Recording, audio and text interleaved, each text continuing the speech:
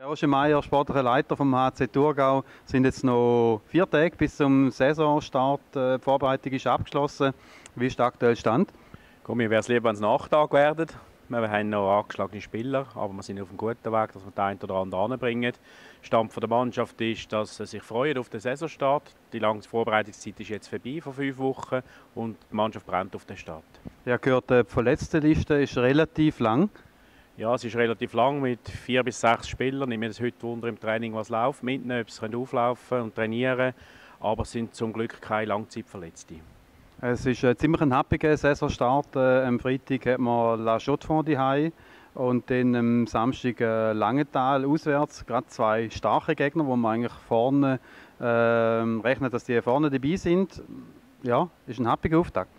Gut, der Gegner spielt an für sich keine Rolle im ersten Meisterschaftsspiel. Wir können zum Glück die anfangen, weil es der Spielplan so hat wollen.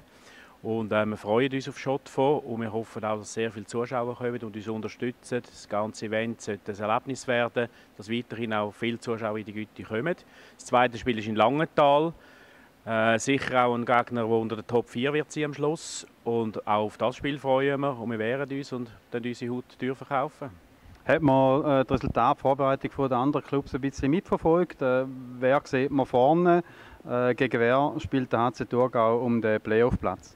Gut, Vorbereitungsresultat hat es Hochs und Tiefs bei allen Mannschaften. B-Gegner haben Ausländer geschlagen, sie haben Nationalvertreter geschlagen. Aber da kommt es immer darauf an, wie ist die Teamzusammensetzung, Blockaufteilung, wer spielt im Goal. Und da kann es sicher Überraschungen geben, das Vorbereitungsresultat. Dann, unser Ziel ist klar, die Playoffs zu erreichen. Und wir haben da acht Gegner, wo wir zwei davon hinter uns lassen. Und Prognosen abgeben ist relativ schwer, sondern entscheidend wird äh, ein guter Saisonstart sein, dass du nicht von Anfang an schon hinter dem Strich bist. Besten Dank für die Auskunft und einen guten Saisonstart.